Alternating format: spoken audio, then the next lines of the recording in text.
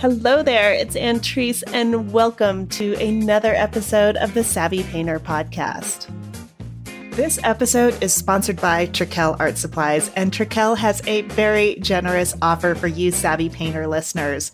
Trekell has been obsessed with the art of brush making for over 30 years, and now they're applying that same obsession to their professional grade art panels. Both their brushes and panels are made right here in California at their Hesperia factory. So Trekell is offering you, the Savvy Painter listeners, an exclusive discount.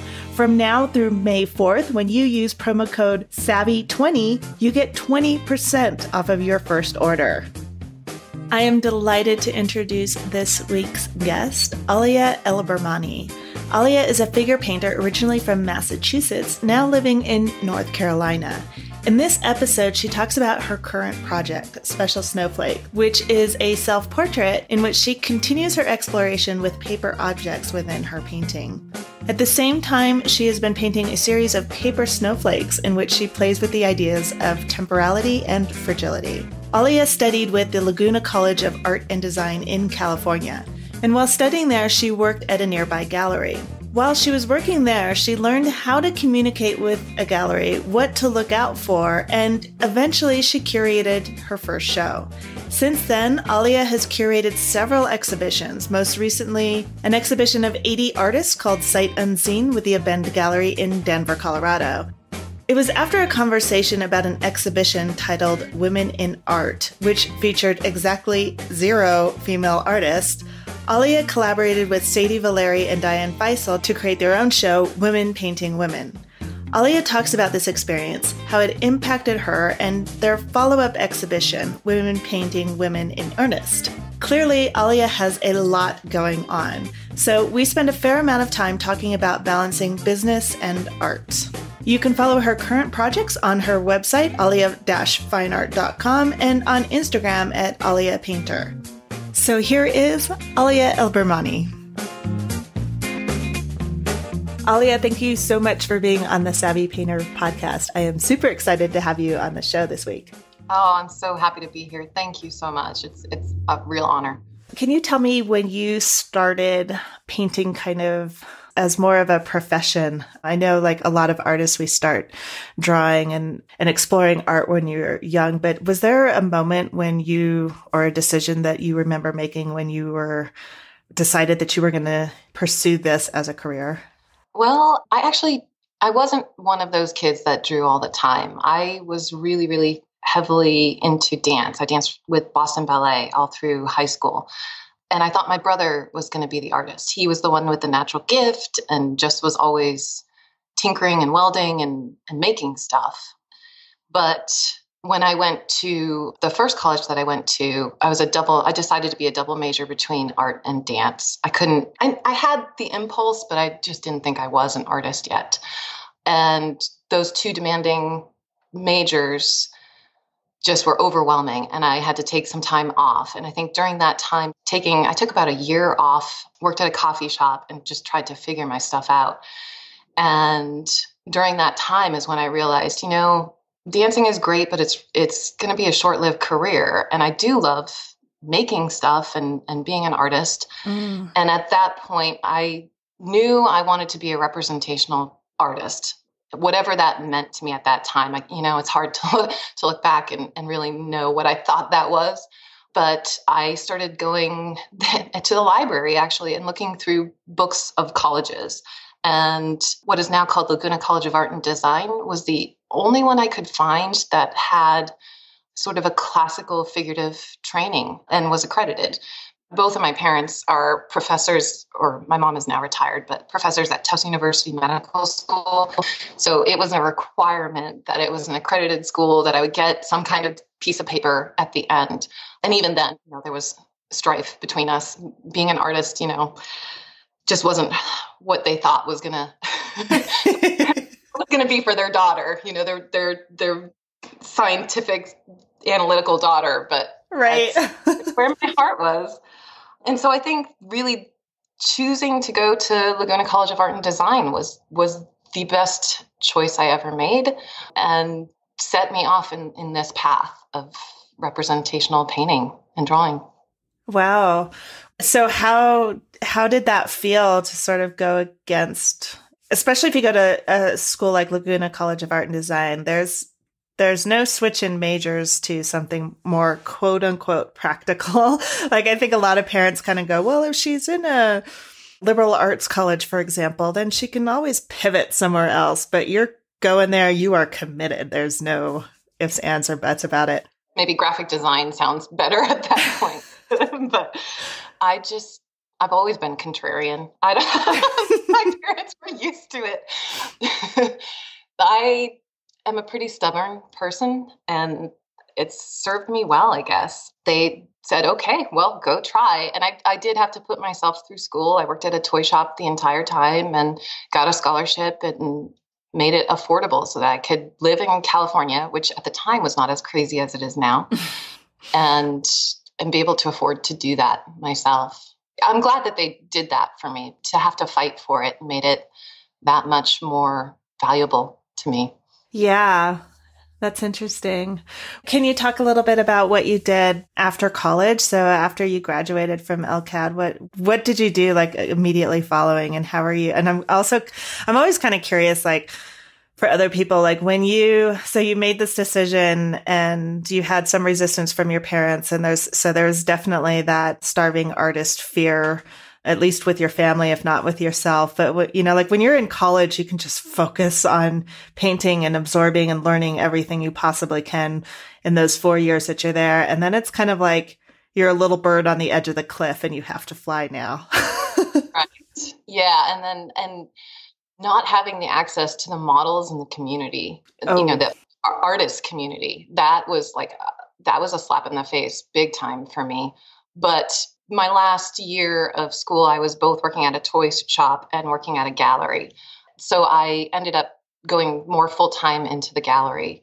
And that was, uh, you know, I could walk to it. It was right down the street. It was a good gallery with artists who are now my age showing there and being successful. And I learned so much working in that gallery about how to communicate with a gallery and how what to look out for too. Um, and I also started making connections in other galleries.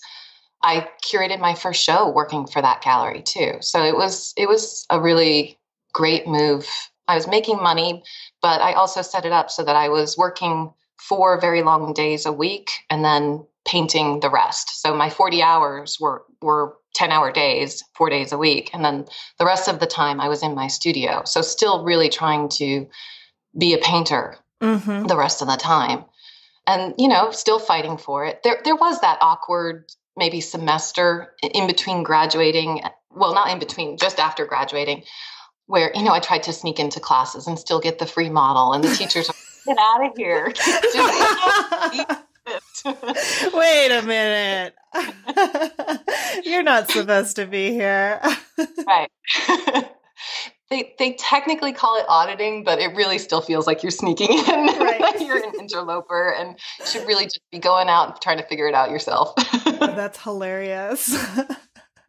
you just reminded me there was a guy when I was in in college and I think he was because you i mean you're allowed to at least with you know where i went you're allowed to come back and and continue to paint. And i think they even had like after you know like a, a figure drawing workshop or figure painting workshops that was just open to any student past or present. Oh that's great. But there was this one guy that was in like would not only take advantage of that and it was like a you know in the afternoon for like three hours he would come to all of the the figure painting classes during the day too.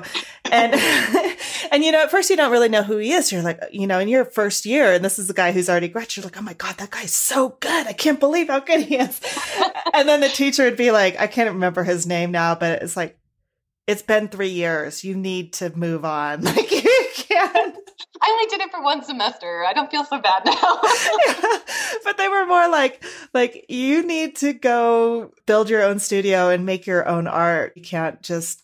It's it's not that you can't, but it's not good for you to just come in and do the studio workshops for the rest of your life because right. you're good enough. yeah, get beyond the, the academic. Let's, yeah. yep. Yep. Oh, that's really funny. So I'm curious, what were some of the things that you learned by working in the galleries? That's such a unique perspective that most artists don't get. The thing that always sticks out for me is to be conscious of how much discounts you give. The gallery will try to convince you to give as big a discount as they can possibly muster to try to to end the sale, to close the sale. Mm-hmm so every contact that I have with a gallery now, I say, you know what, I am not accepting any more than whatever price, you know, whatever percentage discount. Mm-hmm. And there, and there were there were a few artists in that gallery that said no, absolutely zero discounts, and that was really eye opening for me. It was like the artist can dictate the terms. If they are wanted so much by the gallery, then they can dictate the terms, and you don't have to. You know, it's a relationship. It doesn't have to be so one sided. Right. Yeah, that's a really good point. Because just knowing that you can do that, like, of course, people are going to ask for a discount. It's obvious. Like, if you knew that when you went into the grocery store and you bought all your groceries and you just looked at the cashier and said, Can I have a 10% discount or whatever? Can I have a 20% discount? Like, that there's actually knowing that there's a number means, of course, I'm going to ask. Right. And I just recently bought something from from a gallery and I didn't ask for a discount. I felt like it was kind of slimy and I think my husband discussed that I didn't ask for a discount. But I feel like it's taking something away from both the gallery and the artist and I could I could afford not to. I didn't I didn't want it. Right. I don't think most collectors are are going to care about that. that is so interesting. So what were some of the other things that you learned about there? Like about you said that you curated your first show there. I did, yeah. Well, another thing too is not related to the curation, but just to not be a prima donna. so many artists we're so special, right? I'm a special snowflake. I don't know about you, Alia. that is actually a title for a painting that I'm working on right now. That's a self so that's really funny that you just said that. so you are a special snowflake special snowflake. but you walk walk into like you said before a grocery store and you don't have an attitude you don't deserve a whatever as an artist. I don't think you should have that attitude when you walk into a gallery either. You have to be no matter who you're dealing with if it's the the gallerina behind the front desk as i was or the director you, you should have a nice attitude respect for uh, the person who conceivably you're about to ask to sell your work and, and, and enter into a relationship. Right, and pack your work and ship your work. Oh, yeah, even more so. yeah. I want to be really nice to you. yeah, you don't want your waiter spitting in your food, so you don't want your gallery to to not treat you well because you you've been difficult. So, and there's there's no reason to be difficult. We can all get along. One would hope. Yeah, I know. that was a good lesson. And then the the opportunity to curate. I just well, now I live in the South, and I think especially for the South, I'm really self motivated. But working in the gallery, I was, you know, you get to a certain point and you're just selling paintings, and I wanted to do more than just sell paintings. You know, I had access to all these amazing artists and I wanted to create a theme and a show. And so I worked with my alma mater, LCAD, and the artist that the the gallery that I worked for was Diane Nelson Fine Art in Laguna Beach, and it's it's no longer there. Um, she just recently retired, I think last last year. But using her artists and then also tapping some Northern California galleries that I had worked with through the gallery, put together a show called About Paint and it was it was literally different ways to use paint and and make beautiful paintings. And so there were some artists that would scrape and scratch and sand and then artists that would just really glop on these beautiful all representational images just because that's what i was really drawn to. So and working with artists one-on-one like that was a great great experience learning how to how to communicate and be organized and I designed a catalog. So that experience was wonderful too. At that time too, we had a, a printer in Laguna Beach, you know, an offset set printer. So I learned a lot about working with offset printing. Mm. That was I don't know that I would have access to that nowadays. You know, you just ship your digital files over to who to I don't know, China or wherever to get catalogs made. So yeah, working at that gallery was was a great experience. And you also, I'm curious. So you also co-founded Women Painting on Women, Women, Women Painting Women, right? yeah, not on. yeah, no, not that. not body painting. it is women painting women. Oh my gosh. Um, and you've curated shows through that as well, correct? Yes. So myself, Diane Feissel, and Sadie Valeri, as it turned out, we all met online through Facebook and through blogs. And it was actually on a blog post of Sadie's. She posted, there was a show put on by Sotheby's Auction House in New York, and it was titled Women in Art. And it was all blue chip and it looked like a good show. But then when you clicked to look at the list of artists, there was not a single female artist included. This was 2009, I believe. It really set off a conversation mm-hmm. between. Well, it was just a, a, on the in the comments section of Sadie's blog, and I posted there. I said, you know, we can take this back. We can we can create an exhibition called Women Painting Women and then the conversation went offline or you know privately not not to the public. And we started going back and forth. And i had always wanted to put together a artist retreat for women. And she within that week had reserved the the web domain women painting women. And it just we started posting images of painters female painters who paint the figure primarily female figure that are living. It was really important for us to to show contemporary artists. Yeah. And didn't put anything besides the title, the size, the media, and a link to their website because ultimately it was about promoting these mostly unheard of artists. And it just blew up. We had no idea how much interest that that blog would create. And within so I want to say that it, we started it in March, and then by November we were being contacted by Robert Lange Studios in in Charleston, South Carolina. They wanted to to put on a Women Painting Women exhibition and asked us if we would be involved. They wanted us to jury the exhibition, and we decided that we didn't want to do that. That we had too many friends that we would have to say no to, and mm. we didn't want to be put into that awkward position. So so we asked that, they do the curation. And I have to say that show was stunning. It had over 50 artists. I think it had a total of 54 artists from all over the world. The, it was primarily the United States, but then there were artists from the Netherlands and Italy and France and Holland, maybe, um, and maybe maybe some some other European countries that I'm not remembering right now. But walking into that show, it blew us all away. The power of work mm-hmm. and the mm-hmm. curation, the curation that they did and the way they displayed everything.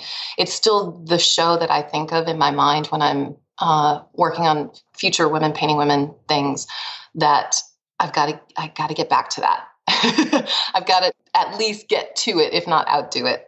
I am working right now. There will be a touring museum exhibition this year that I've spent now three years of my life curating without any hope of pay or you know anything like that. Um, but it will it will premiere at um, Customs House Museum in Clarksville, Tennessee, and then move to Texas A&M's J. Wayne Stark Galleries. This is all starting in August and then runs through December.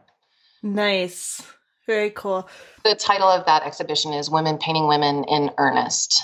And I really I, I wanted, you know, we we had such wonderful exhibitions with galleries. So Women Painting Women has had over a dozen exhibitions in galleries all over the United States and Scotland, in Australia, I think in 2015.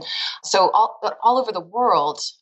But with the galleries, there's always this commercial aspect that yeah that gets in the way of curation not all figurative art is sellable but it man is it powerful and and i wanted to be able to show those works that are so so powerful that have this deep earnest meaning and not have to worry about supporting the gallery.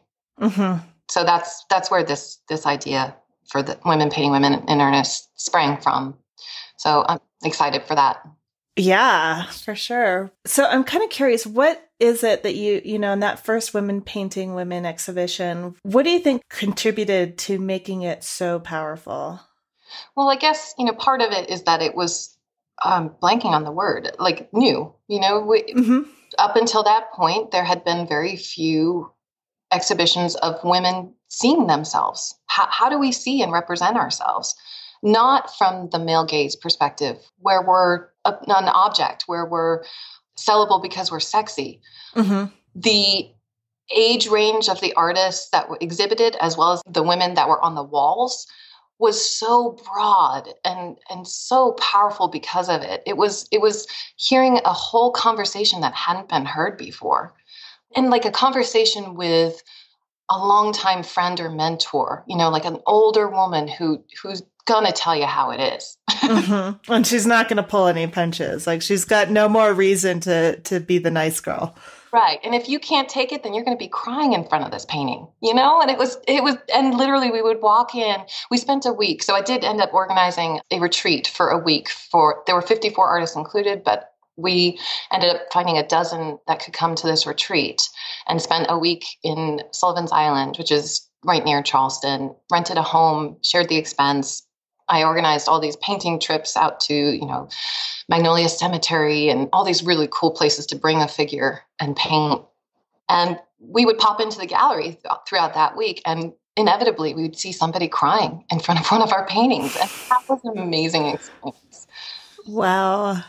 Yeah. Were you able to like I don't know if this is too, you know, would be too personal a question to ask that person, but were you able to ask them what it was that they were responding to?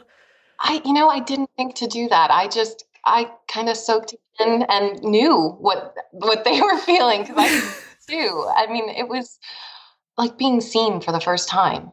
You know, mm-hmm. Mm-hmm. it was powerful.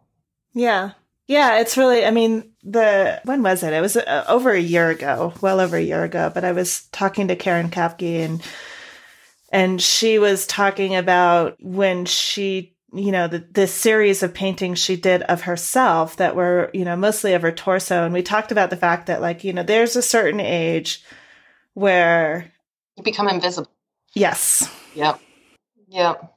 I think I'm, I'm, I'm just about there. Uh, uh, you know, during that retreat, there were, again, uh, our age ranges from, were from like 20, I want to say she was 22, but she might have been a little bit older, up to 72 all you know a dozen women staying in a house together and the conversations that we had. But one of one of them from several of the older women older than me women that were there were okay ladies young ladies you need to realize you got to hustle now while you're not invisible.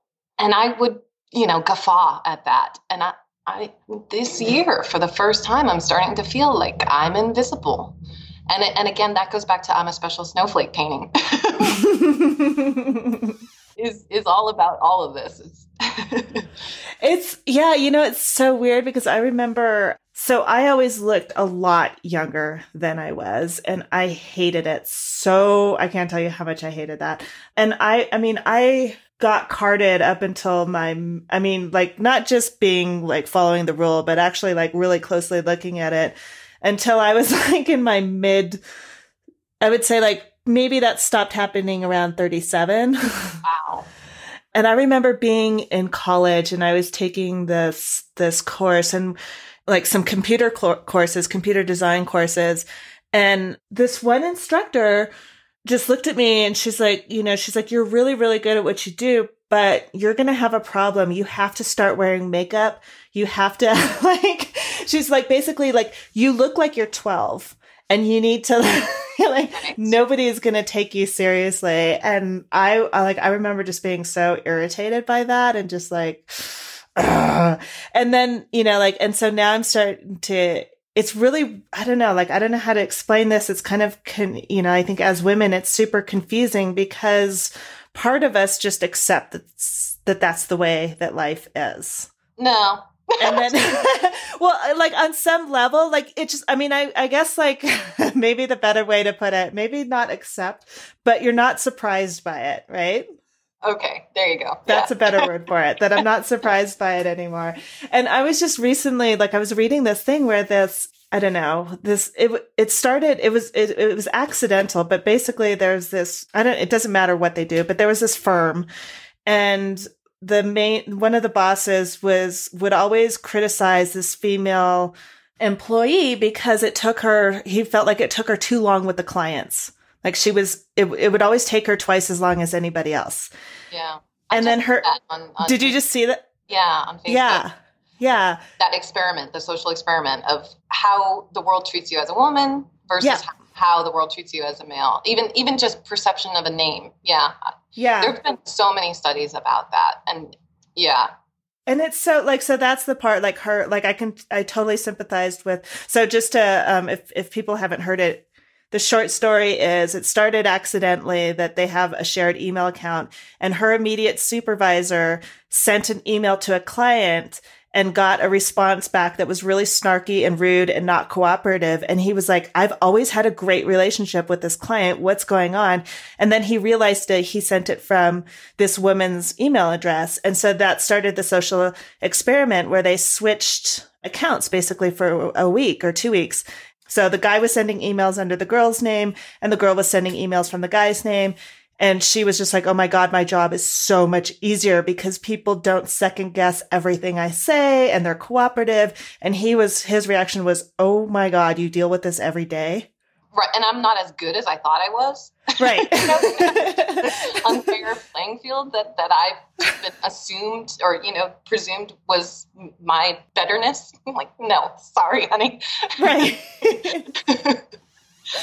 all of that like it's none of it is surprising. And then when you get to and so i think like in a weird way also as women like i kind of had that same experience that um, you know, people would always tell me, oh, that's because you're young and cute or whatever. And I'd be like, I'm not cute, you know, like, and women also have this, you know, we're hypercritical of ourselves. And I'm like, I'm not cute. I don't know. Like somebody else is cute might be getting that treatment, but not me. And, and then you start to feel that the start of the invisibility and you're just like, whoa. Yeah. The world that I walk in has, has just changed. Yeah. Uh, you know, I, I don't know how I'll handle it going forward because I'm just just now experiencing it. But it doesn't change me at all. No. That's what I keep reminding myself, you know, and and even as a younger artist, I never painted for anybody else. So this isn't going to change what I do or how I paint or what I put out there. So I, I think I'm at peace with it. And in, in a lot of ways, like maybe it's freedom. Get your eyes off of me so I can do my work. Yeah. Yeah, for sure. I don't know. That, that I kind of double think things all the time to confuse myself into getting back to work. yeah. so I guess maybe that's an example. Well, I think I don't know. I do. I I think it's really helpful to like look for how this instead of looking at the disadvantage for the right. whatever situation to try to figure out if it is what it is, then what what's the good good that can come out of it? Yeah. Yep, exactly. And yeah, and it's also yeah, you you develop more and more empathy and you also develop less and less willingness to settle to censor yeah. yourself to take other people's crap, you know, it's more like I just find more and more I'm just like not my circus, not my monkey, I'm not playing your game if you want to play that, I'm not playing. you know, like whereas before I might try to like appease people. I think I've always been like that. I stomp my foot dig my heels in. The more you push me to, to be one way or the other, uh uh-uh, uh nope, not going to happen. I think my parents are just both going to be nodding in agreement. yeah. I don't, it's a weird thing. Like, if somebody tells me I can't do something, then game on I'm doing it. Right.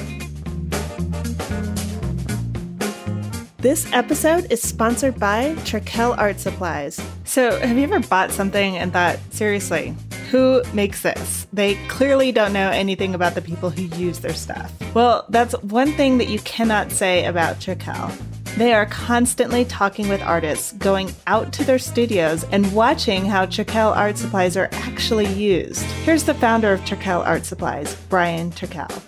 Everybody has sort of a different want and need, and the brush line continues to expand because everybody's found something somewhere that they really think is just it and that's that is sort of fascinating that they just haven't picked up this as a brush. You know, you use your bristles for for your oils and your synthetics for your acrylics and your Kolinskys for your watercolor, and they, they don't stick to that at all they develop their own techniques, and that's the beauty of, of, of, art in and of itself. You don't want to really be just repeating what's been done. We need to we need to move forward. So it's something that keeps us on our toes, but you're always surprised with what people come up with. And there's always a massive difference of opinion too. So you can't really just start to base your whole theory of a brush on what one artist says because you'll meet another artist that's got something totally different. And you then have to adjust everything you do to, to make sure that everybody's kind of happy with that. Well, it should be no surprise that a company that cares that much about their customers is going to give you, Savvy Painter listeners, a very special offer. Until May 4th, when you go to Trekell.com and you buy brushes or panels or anything else that they have on their site, you can enter promo code SAVVY20 at checkout. That's S A V V Y 20. Just enter that into the promotional code before you check out, and you get 20% off of your entire order. So cool of them to do that. And that's because they want to take care of you, the Savvy Painter listeners. So head over to Trekell.com before May 4th to take advantage of that generous offer. I would love to hear about what you're working on now and a little bit about your studio practice. Can you can you share that?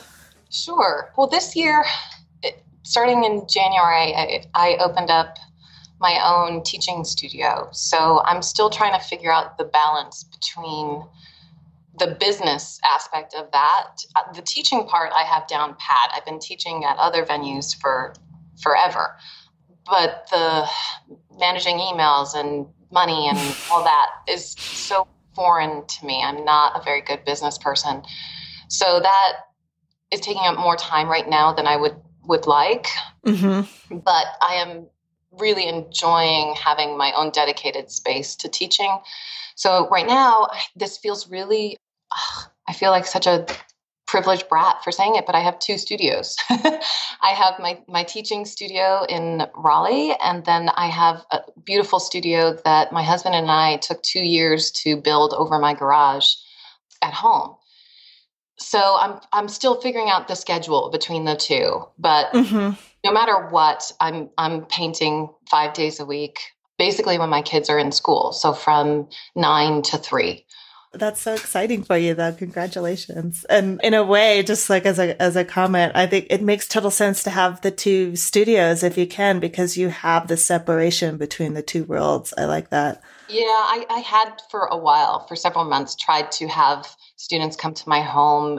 You know, if I have to clean my bathroom for you, I'm gonna start resenting you. So that was just not not a good fit for me it's so much better now. It's it's so lovely. I get to to go to teach, enjoy my students, enjoy my time there and leave everything there there as it is and then yes. come home and my my painting is still there i didn't have to put it away or hide it because it's in some awkward state or you know so it is it's a lovely separation right now what is your normal when you're working on your personal work when you're above the garage? What are you working on and and what's sort of a normal day for you? Like I guess what I'm looking for is do you have any routines or things that you do like when to start off your painting time? Well, I'm a terrible insomniac. So I get a lot of my idea making done in the wee hours of the morning. I tend to like fall asleep early and then wake up at like one or three in the morning and then just can't get back to sleep. And oh, so oh, wow. So a big part of my practice is writing in those wee wee hours in the morning, and I, I, it's just free form writing, whatever. sometimes it's journaling. Sometimes it's like, okay, I saw this one little bug or whatever that was really inspiring, and and just let it kind of flow from there. And eventually, the words transition to images and I'll start doing thumbnails in the same book. But then then the kids wake up and and that, that life has to start. So that once I get them off into their their worlds, I'm able to go back up into my studio and start really painting. So sometimes that's I prefer to paint from life. So sometimes I'll have a, a model or uh, nature is a huge influence on me. Um, a big reason why we're still in North Carolina is because we we bought a home with a bunch of woods around us. Mm. So I can wander in the woods and find all kinds of treasures to paint and bring them in, bring them inside and just enjoy the the fleeting moments with with nature as it literally decomposes in front of my eyes or if i'm working like this special snowflake if i'm on that that day i have this whole installation of snowflakes that I, on facebook i asked any artist and and people have interpreted that word very broadly but any artist who wanted to send me a cut and folded paper snowflake to send me their snowflake. And this, honestly, it started because I couldn't outsource it to my kids anymore. they refused after after two, so then I outsourced to other artists, and it turned into this project of where I'm honoring all these incredible artists in our community and so I've started inventorying every single one as they're mailed to me. I'm keeping the envelopes because I think I'm going to do something with the envelopes. The paper has been creeping into my work. Like collage type or? Oh, no, sorry. Painting it? Yeah. So this, I'm bouncing all over the place. I apologize. But my daughter got an origami kit for her birthday probably about two years ago and it sat in the closet and she didn't have any interest in it. And I saw it in the closet one day and took it out and started folding all these beautiful shapes and loved the act of doing it and loved how it was not what I was supposed to be doing. uh-huh. it was so different from painting. But then when it, when it was done, there was this form and I couldn't imagine not painting that form and and so I painted it and and then the next one and then the next one and then I had a Great Dane, beloved Great Dane, pass away, and I made a whole bouquet of white paper lilies, and they slowly started to un- uncurl, and there was this beautiful geometry of the unfolded origami. And that to me was even more interesting than somebody else's pre made pattern for for a form. Uh-huh. Just the the folds in the paper that were ever present. Like you can't uncrease a piece of paper. And and I put a cicada in it, and that became it, I titled it Shelter, and that became like a revelation for me that maybe maybe I could make a whole series uh, incorporating paper and objects and paint and respond to that. So that's sort of how there were uh, several paintings in between there and this special snowflake but that's kind of how the the idea for paper snowflakes started. Got it. Yeah. And then so now I, in my studio at home i've got an installation of gosh i don't i'm looking over i'm trying to count really quickly but uh, probably about 50, i don't know 50 or 75 paper snowflakes from all over the world that people have taken the time to cut and i just love the image in my head is all these tiny little fragments of paper scattered around on everybody's floor. I just, I love that. and they're set up. And so if I'm not painting myself in this self portrait from a photo, I'm painting the snowflakes from, from life and just enjoying res- responding to that. Also, with the paper came the idea of painting a lot of white on white. So in this painting, I'm wearing all white, and really the only thing that is colorful i mean there's a lot of color in white but that is really colorful is my palette that i'm holding and then the little bits of my flesh that you can see through. So cool. I love it. Hopefully i can paint it as well as i am describing it in my it's so funny. I uh, I did something. Well, I did not do something similar, but it's just reminding me of the fact that, like, for for our wedding, I got married in Argentina, and there was a lot of people who could not come to the our wedding because it was so far away. So I asked everybody to mail in hearts. Oh, that's awesome! And so we had like our our the decorations are basically all these paper hearts that everybody mailed in, hanging all over the place, and um, so like I'm just getting that same vision with the snowflakes, and I know it. like I was imagining too, like all the different colors, and people like their kids did it, and so like you know it's all sorts of perfectly cut hearts, misshapen hearts, and just like every personality showed through with that, and it was so cool. So I'm kind of imagining that snowflakes must have been similar with that regard. Yeah, and I can definitely tell like there there are at least a few that are exactly alike. So these people were on Pinterest, like paper snowflake, you know. and I think there's some hilariousness about that too. That's really funny. oh darn it! So we can't say that no two snowflakes are, are alike anymore. You're pretty darn close, yeah. And and I I probably have omitted those. But they my my overall idea for this series is that I'll have these incredible paper objects that I've created or that other people have created, and they'll become an installation in, let's say, a museum. Let's put that out there. And then on the walls will be my paintings of these objects. And yeah, so people will get to walk through and experience and touch and maybe even destroy, which which is a pretty interesting the the paper because it is so temporal it's so fragile and that's okay with me if they disintegrate and be a part of that object's experience and then have the the paintings be present as well on the walls. Yeah and even like i also really like that that destruction aspect of it because you know snow and snowflakes are so temporal like they're they're supposed to dissolve and become something else. Right. And I think, you know, these were made from trees. And if a tree is going to have to be cut down to, to be made into a paper snowflake, it really should go back to the earth too. So mm-hmm. I like it. Very cool. I still have paper cut snowflakes in my head. and there's something about it that reminds me a little bit of Christo with his, you know, when he would he would wrap you know, like objects in fabric. Yeah.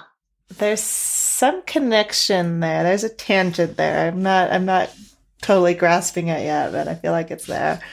Well, I want to do like a huge I don't want to say this idea because then it will be out there, but a huge something or other. And it's so big that people could could walk through it, but then as they they walk through it, you know, it it self destructs. Um, but yeah, yeah. Mm the scale, like it definitely had started off small with those hand size origami objects, but they're they're getting bigger and bigger and more interactive with with humans. Like there's there's one painting where there there's a mask on one of my it's a double figure, the same figure. But even I want the paper to become even more foreboding, more more present than the figure. Is that are you talking about the one that's your profile? What is it, Delude? Delude, yeah. Delude. Yeah. I'm just putting all the accents on the wrong syllables. English and Spanish. My husband loves it. yeah. Yeah, that that one is delude. And it, it's mostly about self-delusion and how we we trick ourselves. I guess I trick myself a lot. And is that figure with the mask on is she a nefarious character or is she a helpful character? And you don't you can't quite tell in that ambig- ambiguity is beautiful to me that mm-hmm. i like to find those in between moments with with figurative work where the viewer has to stop and look and think for a minute and whether they come up with the answer or not uh, is awesome if they don't actually because i don't often have the answers. But i'm but i'm making them pause. That's that's what those kind of mysterious moments can can create. Yeah yeah, because I think like what I remember feeling when I first saw that painting was at first the mask, like masks can be kind of frightening, right? Yeah. Because they're somehow hiding that person. But then the body language felt more protective. So then I kind of was like thinking, there's that first like, huh? Right. And and with any any and I guess that's how we see strangers or any new situation. There's that pause and is this person or is this situation dangerous or is it okay? And you have that quick assessment whether you're aware of it or not. Right. And so then I kind of was feeling like, okay, it's okay. And then I started telling myself the story.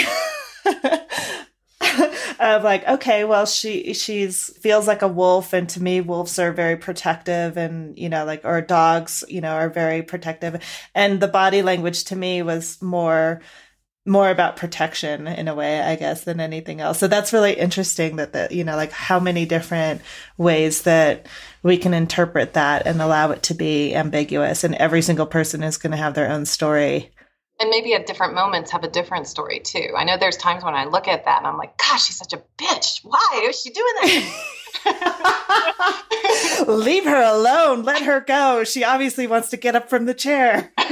exactly. and it's a dog, so I can say that word. It's a female dog. yes. That's exactly it. So just to wrap it up, like I have not asked this question in a while, so I'm going to ask you if you could own a piece of art by any living artist, what would it be or whose? Oh God, that's so hard. I know. I'm going to ask the other question, like if you could talk to yourself 10, 20 years ago. Darn, I was Okay, we'll start we can start with that one and then I will go cuz I am going to torture you now, Alia, then I'm going to go back to that one. I'm not going to let you slide. But what advice would you give to yourself, the artist that you were 10 years ago? Not to run away from the business aspect of this career. You know, I think for as a young artist, even even even now I fight it.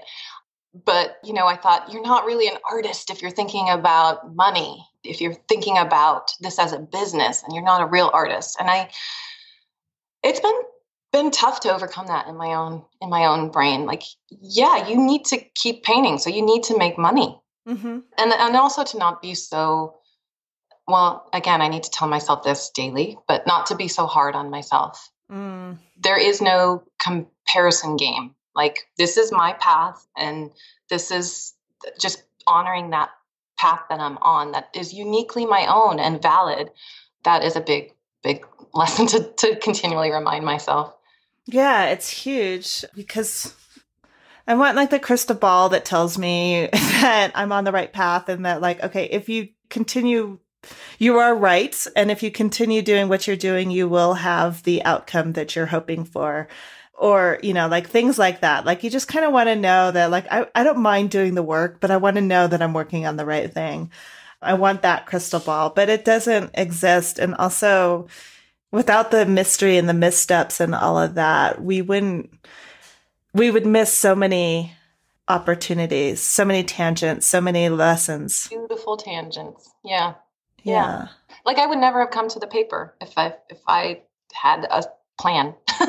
right. So Right. I love it. And the business thing too, like that's another thing. Like I, I talked, I don't know, like I feel there's, I have two things that I just want to comment on that. Number, the number one, and this is kind of like to most artists out there is what makes you think what you do is not worth anything you know, because we always have this like, there's a reluctance. It's not that I can't, people simultaneously want to sell their art for significant amounts of money. And they also don't want to sell their art and they want it to be quote unquote pure or whatever. But like, I think that behind that is sometimes a fear that it's not worth anything. And right. Validity of it. Yeah. Yeah. Yeah beyond the money aspect. Is this going to mean anything after? Well, while I'm here and after I'm gone, does it does it matter? Right. It absolutely does. Like that's like it matters that we create it and it matters to other people. It's like that person who walked into to women on women and was crying. It clearly like it matters so much. It's part of being human. It's part of sharing our stories. It's part of connecting on on a different level than just than verbally and those are all parts of our cultural language that you can't not have it or we will be so deprived i think as human beings yeah and and it's already tending to be to be taken out you know taken out of curriculums and taken out of out of our common everyday experience. So yeah. it is maybe now needed more than ever. Yeah, I think so. I think it I think it creates a dialogue. It gets people to ask questions. It brings in curiosity. It brings in beauty. And my God, we need that so much. All of that. Do you happen to know the Winston Churchill quote? I'm not going to be able to pull it out of my head, but it's it's something like, you know, what is society worth if there aren't poets and artists? Something something like that. Mm. Like, what's the point? Yeah. Why have a civilization if there isn't somebody to recognize the beauty in it? Yeah. Exactly. And I wish, like, I feel like, you know, like, especially with the show and talking to you, we're sort of preaching to the choir. I don't know how to, you know, like, how to get it out broad, more broadly. Yeah, how to communicate that on a broader scale because there's so many people who just like I remember I I need to talk to him now. This would be really interesting. I remember talking to my friend's little brother who was about 20 I think at the time and he was studying, you know, like his study was more like business economics and et cetera. So he, he kind of was going into this field where you need to measure everything. And I remember we were having, we were having a conversation and he probably had, you know, a little bit too much wine and, and, you know, I was definitely the odd woman out as an artist that everybody else there were def, were in business oriented vocations or careers. And, he just looked at some we were talking about art and my art and at some point he said something like why would i even bother to buy original art? Why wouldn't i just get a poster for five bucks at where uh, world one or whatever it is? And i was turn that like, knife yeah. And i will i will freely admit that i was furious when he said it. Yeah. but then there's you know like there's I feel like there needs the answer to that is, you know, it's it's an original piece of art that speaks to you in a way that a poster can never never can. It's a it's a moment in a conversation that you can, you know, continually find new pieces of it. I would guess that that person hadn't made something in a really long time, hadn't had mm. that the joy of connecting with something through your hands, feeling it in your hands. And yeah. maybe if he had that experience more recently, he would see the the value of it. That it's not it's not only about communication. Like there is a, a satisfaction to holding something tangible, beautiful that some other human vibrated against. You know, there, there's this this connection. Yeah, yeah, you're right. Huh, I'm gonna have to think about that more. Like, and and actually, like, we're like he's thirty something. Like, I'm not sure. I think he's in his well, he's definitely in his 30s now but and he's had more life experience. So i'm gonna like give him a hard time and ask him again like do you remember saying that? And what do you think now? I'll be curious to see if he's had any experience that's changed him. Yeah yeah because because at that point it was literally just a dollar you know like i can get five i can to him he didn't see any difference. I can spend five dollars or i can spend 500 of course i'm going to spend five dollars you know or whatever the whatever that is. Yeah hopefully let's let's hope that your conversation turned turned something for him. Right. Or i'm just going to smack him upside the head. No. I'm kidding. Sort of okay. Oh yeah back to that question. Uh, well i am staring at a brochure from the Fralin museum of art from a show that's that's at the University of Virginia. It was a show that I saw last fall on my way up to Pennsylvania. And it was a very small room filled with Anne Gale paintings. And if I could go home with all of them, I would. they were talk about vibrating. Oh my God, those paintings were so amazing to me. I just, oh, yeah. I, yeah. I, I would be happy for a long, long, long, forever if I could own an Anne Gale work. Yeah. totally. Right when you said that, I had this visceral, like, little flutter of, oh my God, yes. Cause, you know, like, so I'm listening to you and I kind of close my eyes a little bit when I'm listening so I don't get distracted. So immediately the image of some of her work that I got to see at a show she did in San Francisco came into mind. And I was like, had the same. Yeah. Even just imagining seeing it and standing in front of it had a very similar response. And so, yeah yeah, this they painted the walls really almost black, but dark, dark gray, and it, it was a room smaller than my studio. You know, probably even smaller than my daughter's bedroom, and nobody was there and I had the whole room to myself. And oh my gosh. And I was there by myself. You know, a rare moment when I didn't have little hands tugging me along through the museum. Mm-hmm. oh, yeah, it was awesome. I uh, that it's a it's a indelibly placed itself in my brain. Alia, thank you so much for taking the time to talk with me. I have very much enjoyed this conversation. I appreciate you spending the time. Oh, I am. It was all my pleasure. Thank you so much, Antrese. Well, I hope you enjoyed this episode of the Savvy Painter podcast with Alia El Bermani. Go to savvypainter.com for the show notes on this episode. You can see Alia's paintings, including Special Snowflake, connect with her on Instagram, and of course, see links to other artists mentioned in this show. One more thing I want to let you know this year you can expect a lot more workshops from Savvy Painter. If you are an artist who struggles with getting painting time in or feels like you're always busy but never really moving forward with your art, then my workshops just might interest you. Past workshops include Mindset Mastery, a five week online workshop to help you get past the roadblocks that keep you from painting. In it, we tackle the inner critic, fears of artists, and setting yourself up for a successful creative day. The workshop, How to Develop a Relationship with the Right Gallery, helped several artists find the right gallery and show their work. So if this is something that interests you, you can go to savvypainter.com forward slash workshop and get on the email list. This is separate from the main list that tells you when a new episode comes out. This is just for the workshop, so you don't get quite as many emails, but when you do, there's always something really good happening. Sign up now and get a downloadable PDF with case studies that tell you exactly how three artists pushed through barriers that were getting in the way of their studio time. You can, for example, learn how Rhonda went from not wanting to call herself an artist to getting her very first solo show. Also, listen to an introverted artist describe how she built her confidence and then spoke in front of an audience of her peers and you can discover the tools that Samantha used to take back her power after a decade of believing that she had no, I'm putting air quotes there, she had no talent. So again, go to savvypainter.com forward slash workshop to reserve your place on the list. When you sign up, you get that downloadable case studies that I mentioned, but more importantly, you get exclusive invites to upcoming workshops. Most of the time, when I launch a new program, it sells out before I ever announce it publicly. So reserve your spot now at savvypainter.com forward slash workshop. Until next week, this is Antrese Wood with the Savvy Painter podcast. Thank you so much for listening.